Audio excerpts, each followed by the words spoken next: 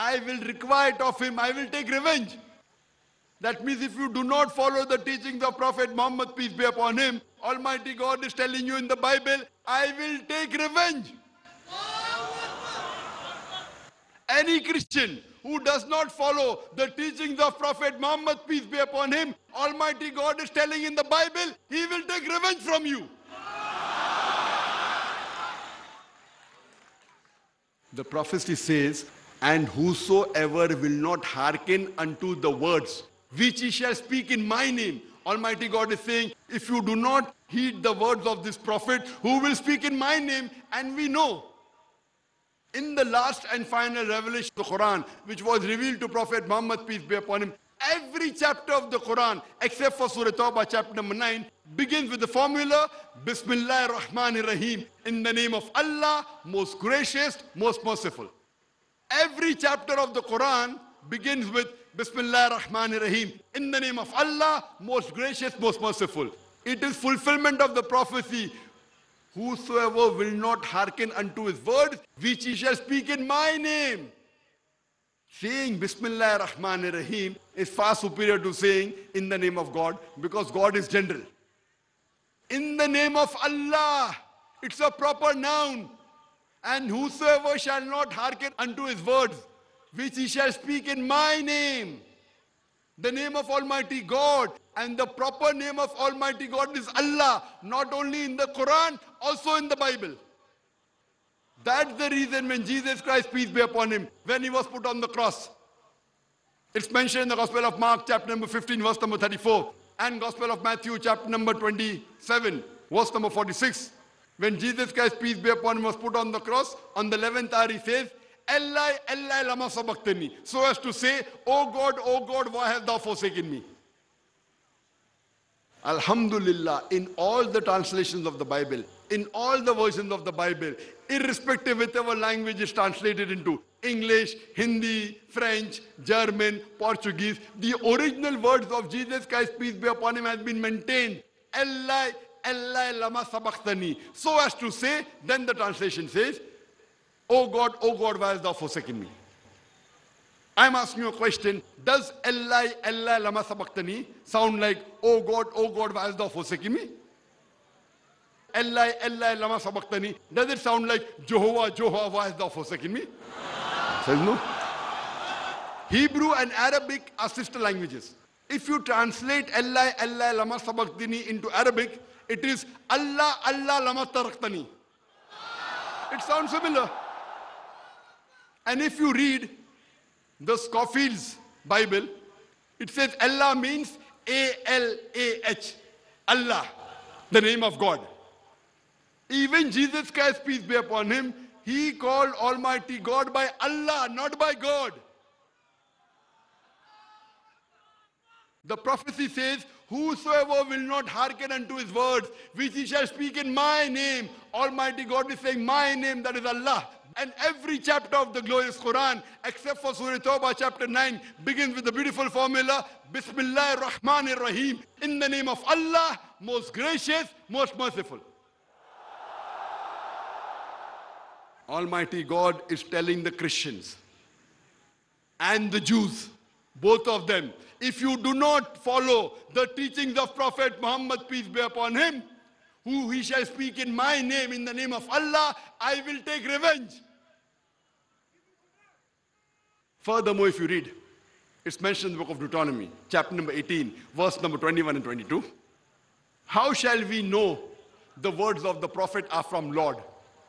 How will we know if what the prophet says, it is not from the Lord? And the verse continues, if the prophet prophesies something and it doesn't follow, it doesn't come to pass, that means it is not the word of Lord. That means to make it more sure, the prophecy continues. How will we come to know? Maybe anyone will say in the name of God. It may not be the word of God. So how will we come to know whether it's a word of God or not? So the prophecy continues that if the prophet says something, if they prophesy, and if it does not follow, if it does not come to pass, those words are not from Almighty God. And we know everything what the Prophet Muhammad, peace be upon him, prophesies came exactly to the minutest detail. It came out to be true. Time will not permit us to speak about all the prophecies of Prophet Muhammad, peace be upon him. I'll just mention one or two. Prophet Muhammad, peace be upon him, said that the Muslims will defeat the two superpowers. At that time, the two superpowers were the Persians and the Byzantines. At that time, the Muslims were so few. Leave aside defeat, the Muslims couldn't even have thought that they could resist these two superpowers. Prophet Muhammad at that time said that the Muslims will defeat the two superpowers, the Persians and the Byzantines. And Alhamdulillah, several years later, the Muslims did defeat the Persians and the Byzantines. I'll give you one more prophecy of Prophet Muhammad Prophet Muhammad said that a man by the name of Suraka, the person who plotted to kill the Prophet when he migrated to Medina after the plan of the pagan Arabs failed when they tried to kill the Prophet. And when Prophet migrated to Medina, he plotted to kill the Prophet. The Prophet prophesies that this man Suraka, he will become a Muslim.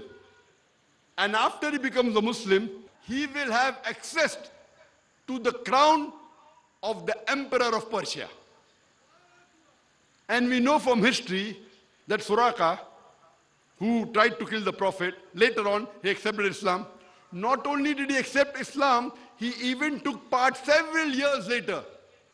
He took part in the Muslim army to defeat the Persians and the prophecy came exactly true. He also had access to the crown of the emperor of Persia. Imagine the prophecy was fulfilled to the minutest detail. And there are several prophecies.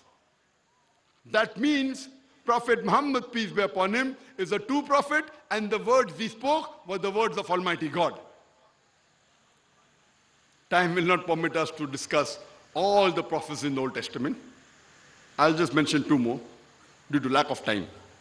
It's mentioned in the book of Isaiah, chapter number 29, verse number 12, that the book shall be given to the prophet, and it will be said, Read, I pray thee, and he will say, I am not learned.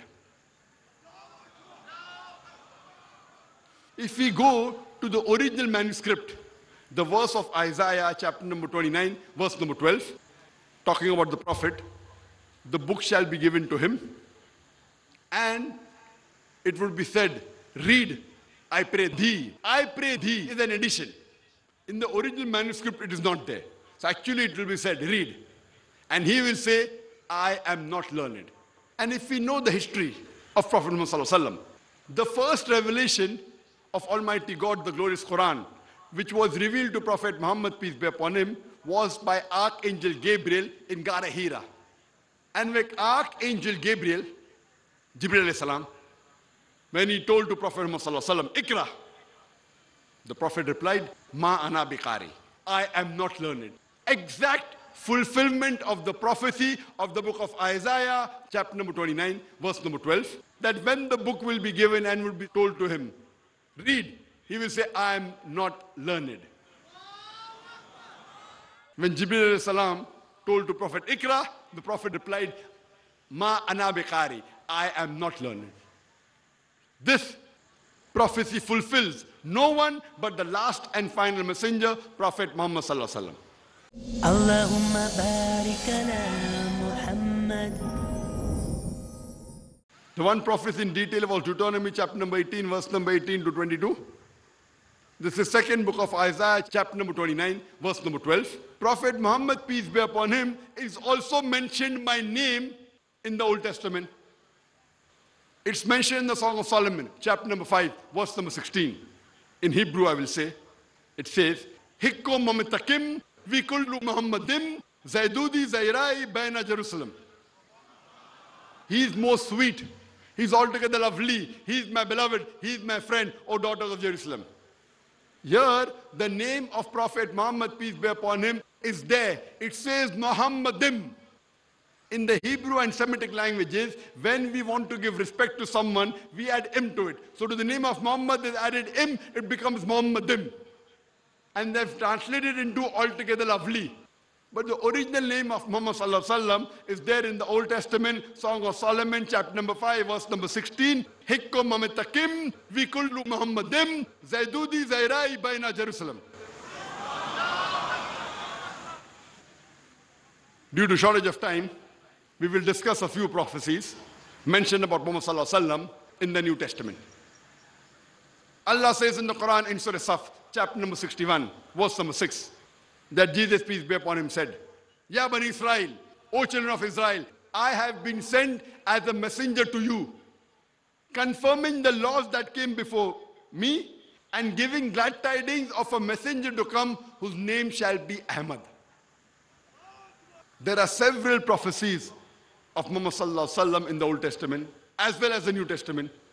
Time will not permit us to discuss about all the prophecies. We'll just discuss a few a few important prophecies about Muhammad in the New Testament. The Jews, they were waiting for the Messiah, but they did not believe Jesus Christ, peace be upon him, was the Messiah because it was known to them that before the Messiah, Elias will come. And Jesus Christ, peace be upon him, told that. He explicitly mentioned. It's mentioned in the Gospel of Matthew, chapter number 17, verse number 11 to 13. Elias will surely come before, and he shall put things straight. He has already come, but you know him not. Then the disciples understood what Jesus Christ, peace be upon him, is talking is about John the Baptist.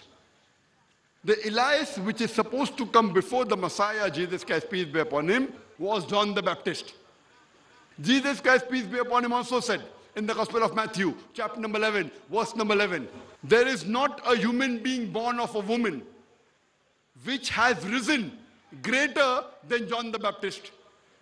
Jesus Christ, peace be upon him, said in the Gospel of Matthew, chapter number 11, verse number 11, there has not been a human being who was born to a woman which has risen greater than John the Baptist. The Jews, they were waiting for the Messiah, for the Christ, and Elias. So the Jews, they sent priests and Levites to John the Baptist. It's mentioned in the Gospel of John, chapter number 1, verse number 21. And they asked John the Baptist that why aren't you very clear? Why don't you tell us? Art thou the Christ? How long? Why don't you make it clear? Art thou the Christ? And John the Baptist confesses. And he said, I confess to you, I am not the Christ. I am not the Messiah. And we know Jesus Christ, peace be upon him, was the Messiah. So John the Baptist could not lie. And he says, I'm not the Messiah. The next question they ask, Art thou Elias? And he says, No. That's the third question. Art thou that prophet? He says, No. Basically, in Gospel of John, chapter number 1, verse number 21 to verse number 25, there were three questions asked to John the Baptist. Art thou the Christ? And he says, No. And we know he was not the Christ, he was not the Messiah. The second question, Art thou Elias? He says, No. Now there's a contradiction between Jesus Christ, peace be upon him, and John the Baptist, between Isa salam and Yahya salam. And both of them, according to us, they were prophets of God. We cannot say that either of them lied. This we leave it to the Christian to solve the problem. Who told a lie? We will not interfere. We aren't so much concerned about the second question, who is Elias? It's the problem of the Bible and the Christian. We will not interfere. We don't take sides. But we Muslims are more bothered about the third question. Art thou that prophet? And the answer is no. John the Baptist says no. And who is this that prophet? If you read in the cross reference in any Bible with concordance, it will tell you that prophet is same prophet which is prophesied in the book of Deuteronomy, chapter number 18, verse number 15 to 18. There are three distinct questions asked to John the Baptist, but the Christians only see two questions. Why? They only think two questions asked. Art thou the Christ? Art thou the Messiah? And he says, No. Art thou the Elias? And he says, No. Then the third question, Art thou that prophet? And the answer is no. That means all three are different prophets. The Messiah is different, Elias is different, and that prophet is different. So Jesus Christ, peace be upon him, is the Messiah, which we agree. We do not doubt. The more than 100 prophecies mentioned about Jesus Christ, peace be upon him, in the Old Testament. Because all the Muslims believe that Jesus Christ, peace be upon him, is a messenger of God. Islam is the only non-Christian faith which makes it an article of faith to believe in Jesus Christ, peace be upon him. No Muslim is a Muslim if he does not believe in Jesus Christ, peace be upon him. We believe that he was one of the mightiest messengers of Almighty God. We believe that he was the Messiah translated Christ. We believe that he was born miraculously without any male intervention, which many modern day Christians today do not believe. We believe that he gave life to the dead with God's permission. We believe that he healed those born blind and lepers with God's permission. We do not argue regarding more than 100 prophecies mentioned in the Old Testament about the Messiah, about Jesus Christ, peace be upon him, because we believe he was the Messiah. We believe he was one of the mightiest messengers of God. But we tell the Christians, why do you deny the prophecies of Prophet Muhammad, peace be upon him, mentioned in the Old Testament and the New Testament? Gospel of John, chapter number 1, verse number 21 to 25. Three distinct questions are asked to John the Baptist. Art thou the Messiah? Art thou the Christ? He says, No. Art thou the Elias? He says, No. Art thou that prophet? He says, No. That means there were three different people, not three in one. So if you say Jesus is the Messiah, peace be upon him, Jesus cannot be that prophet. That prophet has to be someone else, and that is no one but the last and final messenger prophet, Muhammad sallallahu alaihi wasallam. And we have discussed a few minutes back all the similarities between that prophet and Moses, peace be upon him. It continues and it's mentioned in Gospel of John, chapter number 1, verse number 25. Then the priest and the Levites, the Jews, they say, Why does thou baptize if thou not the Christ? Thou art not Elias, thou art not that prophet. There are three distinct things told to John the Baptist that why do thou baptize? Why do you baptize if you are not the Christ? If you are not Elias? If you are not that prophet? Three distinct questions. You ask any Christian, who is this that prophet mentioned in Gospel of John chapter number 1 verse number 21 25? They have no reply. They can't say it, it means Jesus Christ, peace be upon him, because it's already mentioned that he is the Messiah. It refers to no one but the last and final messenger, Prophet Muhammad. It's further mentioned in the Gospel of John, chapter number 14, verse number 16. Jesus Christ, peace be upon him, says, I will pray to my Father to send you another comforter who will abide with you forever. Jesus Christ, peace be upon him, says in the Gospel of John, chapter number 14, verse number 16, that I will pray to my Father to send you another comforter who will abide with you forever. That means Jesus Christ, peace be upon him, will not abide with the Christian forever. This new comforter, this new prophet who will come, will abide with you forever. He further says in the Gospel of John, chapter number 15, verse number 26, But when the comforter shall come, who I shall send from my Father, the Spirit of truth preceding before thee, he shall testify me this comforter to come, whom my Father will send, Jesus Christ, peace be upon him, says, He will testify me, He will talk about me, He will testify that I was the messenger of God. It's further mentioned in the Gospel of John, chapter number 16, verse number 7. Jesus Christ, peace be upon him, says, Nevertheless, I tell you the truth. It is expedient for you that I go away. For if I go not away, the Comforter shall not come. For if I depart, shall I send him? All these three verses I quoted Gospel of John chapter 14 verse 16, Gospel of John chapter 15 verse 26 and Gospel of John chapter number 16 verse number 7 talks about the comforter. When you ask the Christians, who is this comforter? They say this comforter is the Holy Spirit. I ask the Christians, how does it refer to the Holy Spirit? It's clearly mentioned in the Gospel of John, chapter number 16, verse number 7. Nevertheless, I tell you the truth. It is expedient for you that I go away. For if I go not away, the Comforter shall not come. For if I depart, shall I send him? The criteria for the comforter to come is that Jesus Christ, peace be upon him, should depart. Only after he departs will the comforter come. We know that the Holy Spirit was already there before Jesus Christ, peace be upon him, was born. The Holy Spirit was there in the womb of Elizabeth. The Holy Spirit was there when Jesus Christ, peace be upon him, was being baptized. So surely this prophecy cannot refer to the Holy Spirit.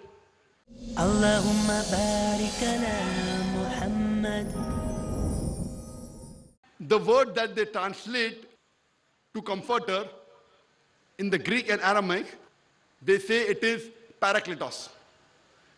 Parakletos actually means an advocate or friend.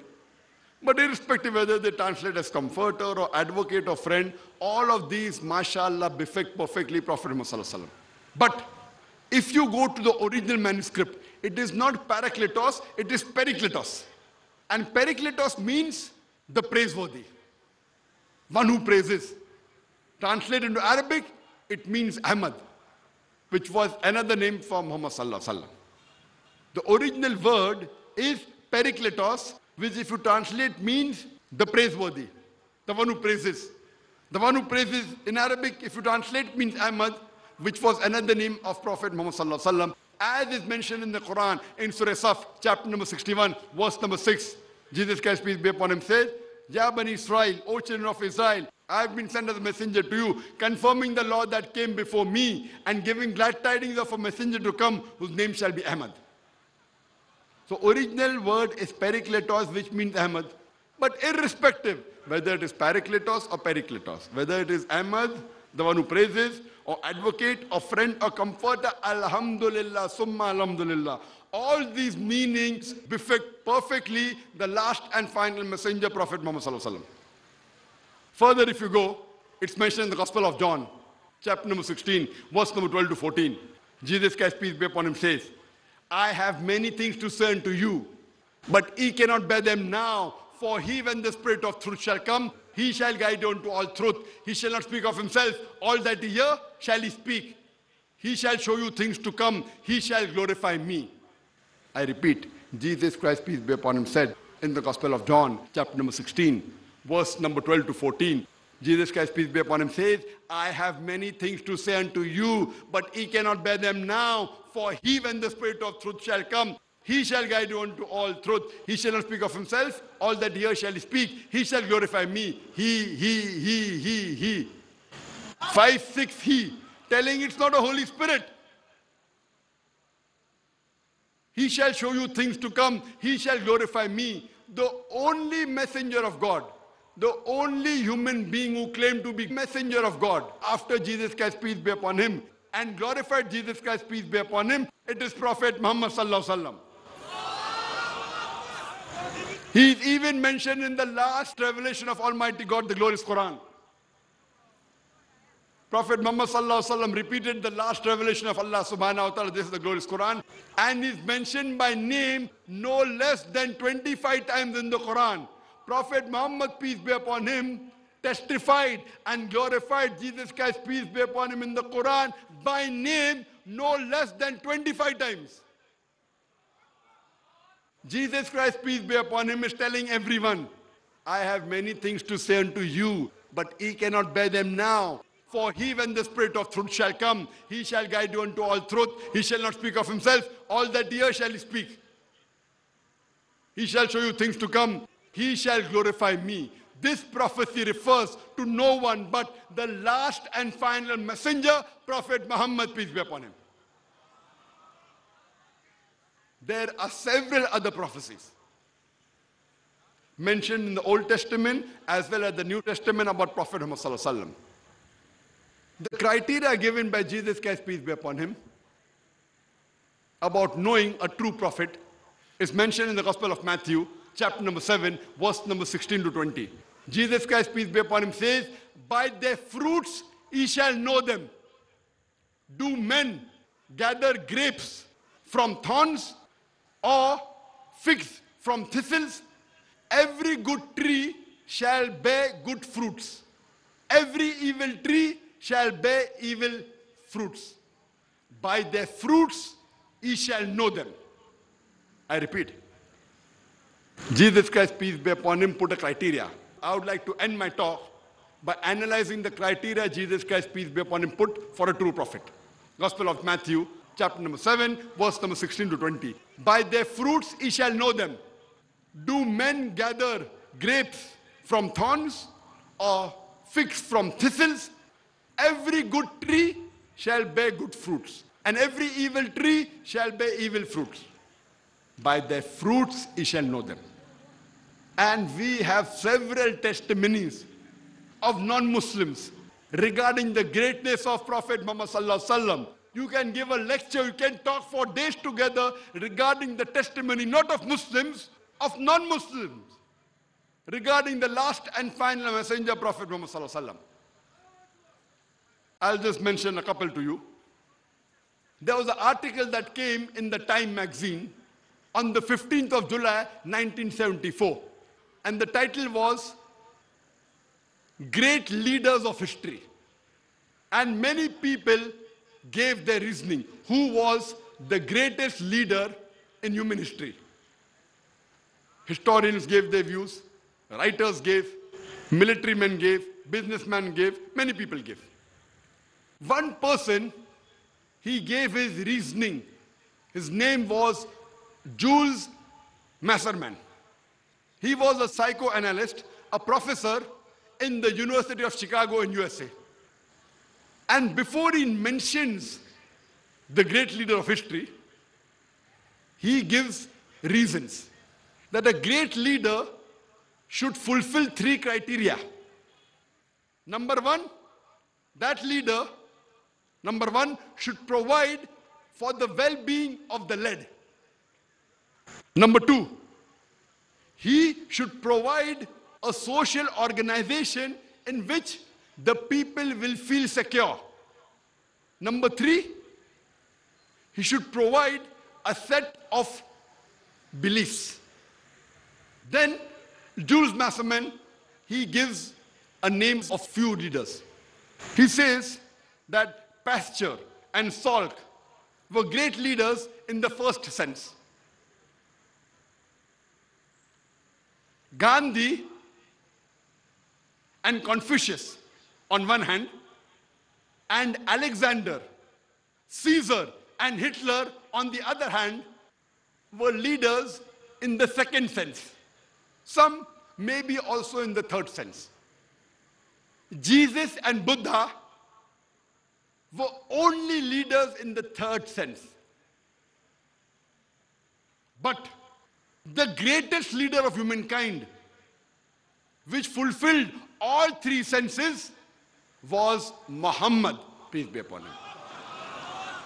And Moses to a lesser extent. Jules Masserman, a psychoanalyst from the University of Chicago, USA, he says that Pasteurs and Salk, maybe first sense, first category they fulfilled. They were leaders who provided the well-being of the led. Gandhi and Confucius on one hand, and Alexander, Caesar and Hitler on the other hand, they were of the second sense. That means they gave a social organization in which the people felt secure, and some extent maybe second, some set of beliefs they gave. Jesus and Buddha, he says, only in the third sense, they gave a set of beliefs. But the greatest leader who fulfills in all three categories, according to Jules Masserman, provides the well-being of the led, provides a social organization which people feel secure, provide a set of beliefs, is Prophet Muhammad, peace be upon him.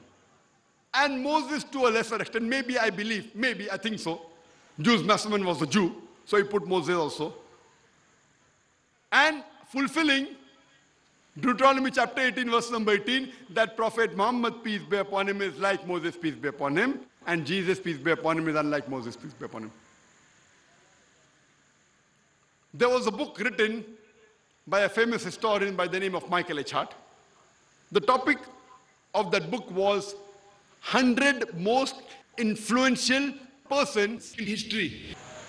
Right from Adam, peace be upon him, till the time the book was written, a few years back. And number one, Michael H. Hart is not a Muslim. maybe a Jew or a Christian, he puts number one, the most influential human being in the world. He places Prophet Muhammad Sallallahu. Jesus, number three. And he says Jesus and Moses, their influence put together is nowhere compared to Prophet Muhammad, peace be upon him alone. George Bernard Shaw, he says that if a man was to assume the dictatorship, he talks about Prophet Muhammad Prophet Muhammad, peace be upon him, a man, if he assumes the dictatorship of this modern world, he will succeed in solving the problems of humankind. And he would give the much needed peace and security to this world. He's talking on Muhammad Sallallahu Alaihi Wasallam, that if Prophet Muhammad Sallallahu Alaihi Wasallam was to become a dictator of the modern world, he would give the solution to the problems of humankind and would give it peace and security which is much needed. Allah says in the Quran, in Surah Ahqaf, chapter number 46, verse number 10, say, if this book, the glorious Quran, is from Almighty God, Allah subhanahu wa ta'ala, and you reject it, after a messenger from the Bani Israel, from the children of Israel, testifies to it, he believes in it, and you are arrogant, you are unjust. Allah guides not the unjust.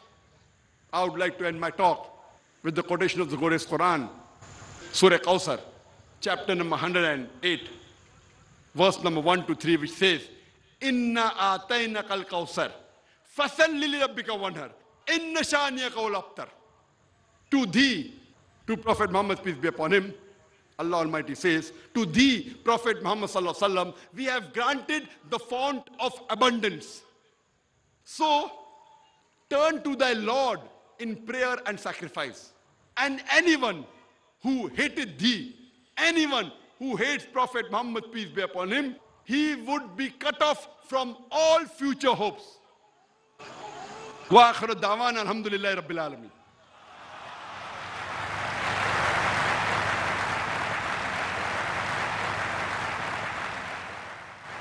اللهم بارك على محمد اللهم بارك على محمد Alhamdulillah. Now we come to the second part of the program, which is the more interesting part of the program, that is the open question answer session. Here, you're most welcome to ask any questions on the topic Muhammad, peace be upon him, in the Bible. There are two microphones that have been set for asking questions one for the gents on my right and one for the ladies on my left. There are certain rules and regulations to be followed before we have the question answer session. Point number one for the Muslims, ask questions related to the topic. Muhammad, peace be upon him in the Bible. Please ask one question at a time. If you have a second question, you can go behind the queue and wait for your second chance. Before you pose the question, mention your name and your profession so that I will be in a better position to reply. Please keep your question brief. The question should be in two or three sentences. If it's more than that, it becomes a mini lecture.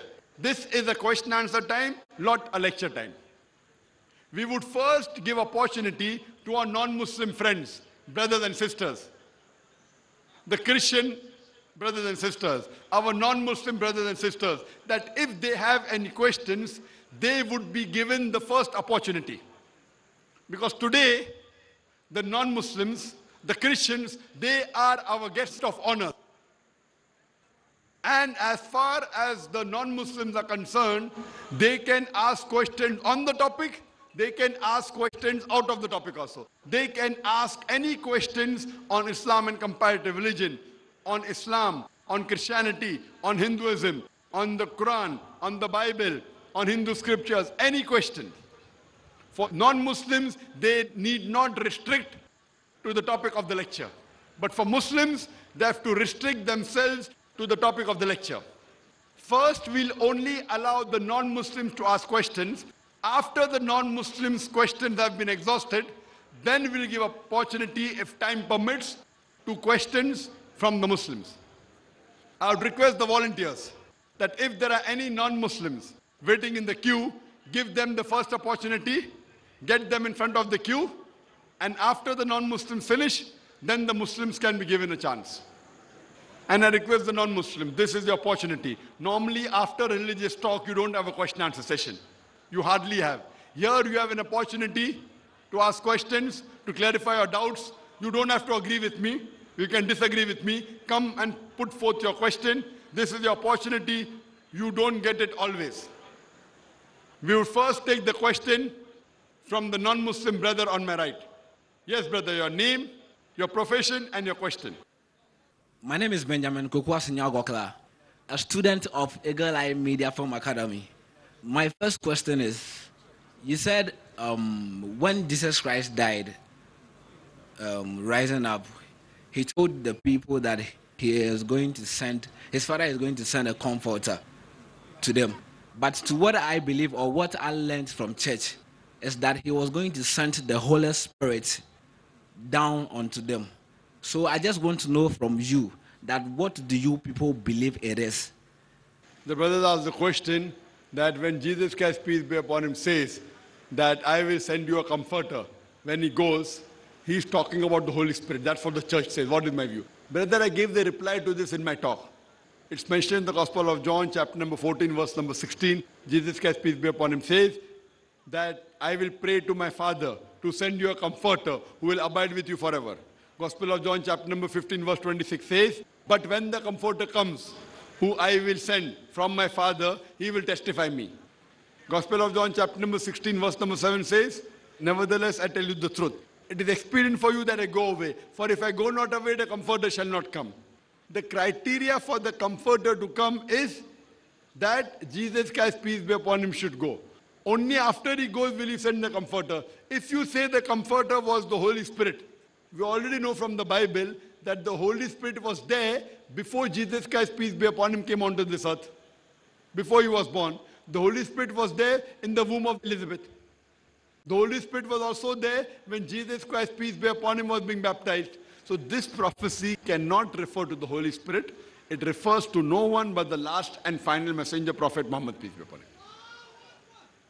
Brother, do you believe that there's one God? Yes, please, I have a second question. Second question. Okay, brother. Yeah, um, there's one thing um, in a religion that when you are a non-Christian and you want to marry a Muslim woman, uh, it is said that you ought to switch your religion before you can get married to the woman. So why is it so? Brother asked the question that if a Christian man wants to marry a Muslim woman, he has to change the religion. Today morning in Accra, I was asked that when a Christian woman marries a Muslim man, the Christian woman need not change of religion, correct? This is what the question was. Because the verse of the Quran says in Surah Maida, chapter 5, verse number 5, lawful for you from this day are the women of Ahle Kitab in marriage.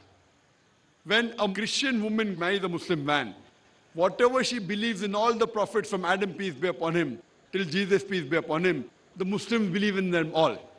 So, all the prophets who she believes in, she does not have to reject any. And the Muslims respect all the prophets. But when a Muslim girl marries a Christian man, the Muslims believe in Prophet Muhammad, peace be upon him also, and the Christians don't believe. So that means when she marries in a family of Christianity, they do not believe in Prophet Muhammad so she will not be comfortable. But according to me, the Quran says in Surah Baqarah, chapter number 2, verse number 221, it says that do not marry unbelieving women until they believe. A believing woman who's a slave woman is far superior than an unbelieving woman, even if she allows you.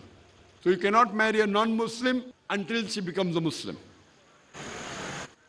And according to me, it's also mentioned in the Quran, in Surah Maida, chapter 5, verse number 72. لَقَدْ كَفْرَ الَّذِينَ قَالُوا إِنَّ اللَّهَ هُوَ الْمَسِيحُ ibn Maryam. They are doing kufr, they are blaspheming. Those who say that Jesus Christ, peace be upon him, is Allah. That means the Quran says many Christians say Jesus is God, it's kuf, it's blasphemy. That means one place the Quran says you can marry the girl from the Ahle Kitab, Jew or a Christian.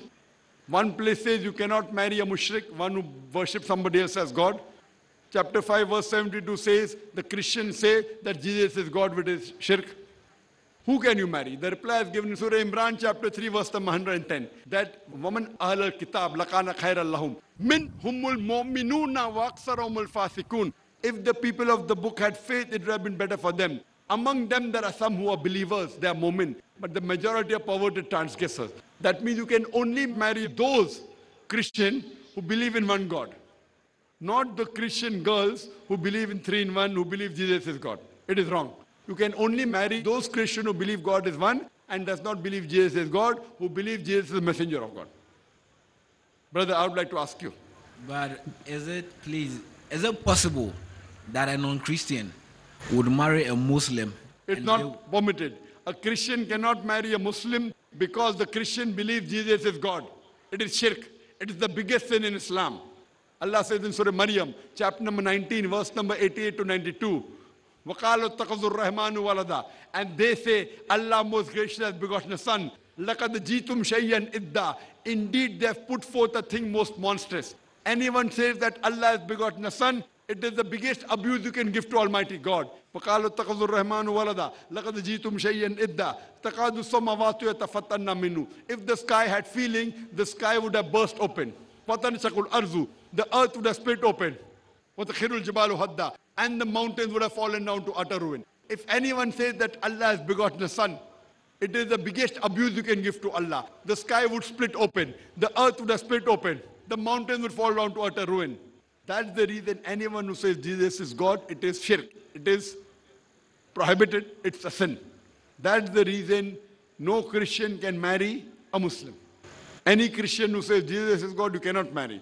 But if the Christian girl says that Jesus is not God, the messenger of God, and she believes in one God, then no problem. Hope that answers the question. Brother, do you believe there is one God? Sure. Do you believe Jesus is God? No. MashaAllah. Do you believe Prophet Muhammad is the messenger of God? Yes. MashaAllah. That means you're a Muslim.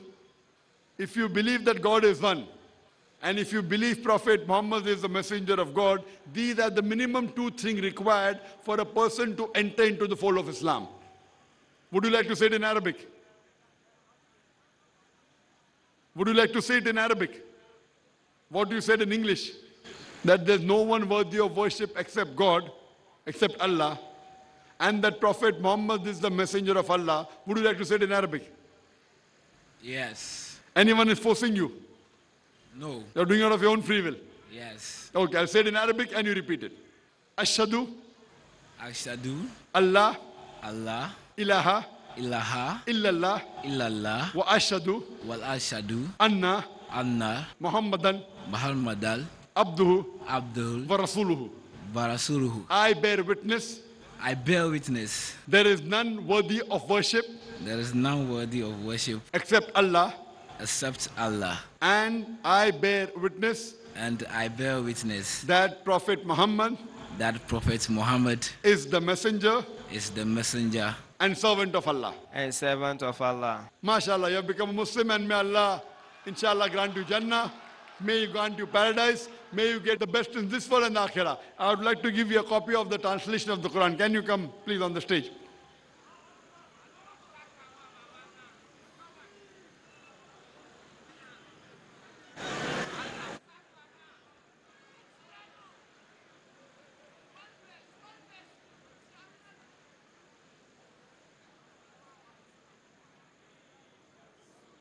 Allah.